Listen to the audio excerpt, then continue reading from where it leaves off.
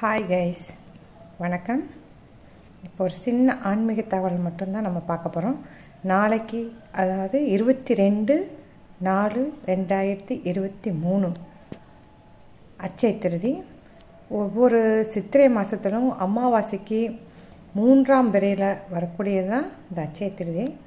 இந்த இது அச்சை திரு இந்த இந்த மாதம் வந்து இந்த வருஷம் இருபத்தி ரெண்டு இருபத்தி மூணு. ரெண்டு நாள்லேயுமே அச்சை திருதி வருது. இந்த டயத்தில் வந்து நம்ம தங்கம் வாங்கணும் அப்படிங்கிற அவசியம் இல்லை. ஆனால் தங்கம் வாங்கினா சிறப்பு. இதை விட சிறப்பு தான். இப்படி வாங்க முடியாதவங்க ஒரு முக்கியமான மூணு பொருளை கண்டிப்பாக நம்ம வாங்கினா கோடிக்கணக்கான கடன் கூட அடைப்படும்னு சொல்லுவாங்க. ஏன்னா இந்த பொருளை வாங்கி நம்ம பீரோவில் வச்சோம்னா கடன் அடைப்படும் அப்படின்னு சொல்லுவாங்க. நாளைக்கு நம்ம எந்த பொருள் அதாவது அச்சய திருதி அன்னைக்கு நம்ம எந்த பொருள் வாங்கினாலும் வளரும்.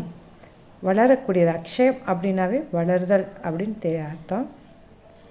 அதனால் நம்ம நாளைக்கு முக்கியமாக என்ன பொருள் வாங்கினா நம்மளுக்கு நன்மை உண்டாகும் அப்படின்னு சொன்னால் அதை என்னன்னு சொல்கிறேன் அதுக்கு முன்னாடி இந்த அச்சய திருதி அன்னைக்கு நம்ம பொருள் வாங்குறது மட்டும்தான் அந்த அச்சய திருதி அப்படின்னு கிடையாதுங்க. இந்த நாளில் நம்ம வந்து மெயினாக தானங்கள் அதிகமாக செய்யலாம்.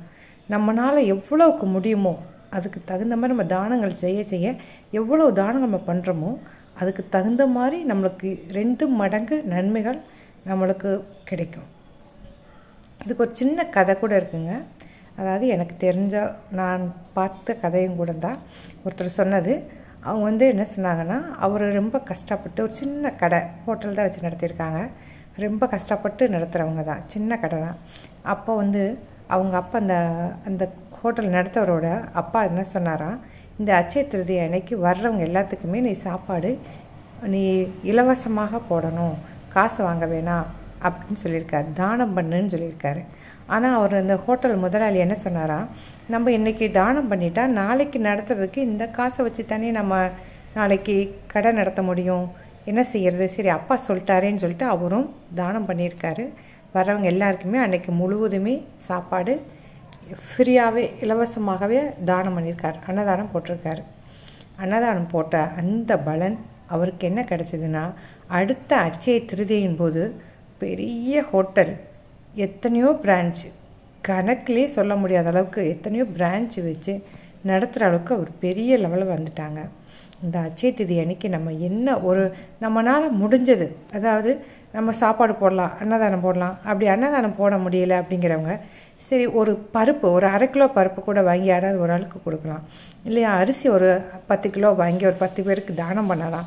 இந்த மாதிரி சின்ன சின்ன தானங்கள் நம்மளால் முடிஞ்சதை நம்ம செய்யலாம். அதுவும் இந்த முக்கியமான மூணு பொருள் அப்படின்னு சொன்னேன் இல்லையா?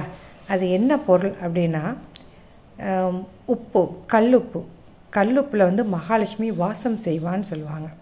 அதனால் அந்த கல்லுப்பு வாங்கிக்கலாம்.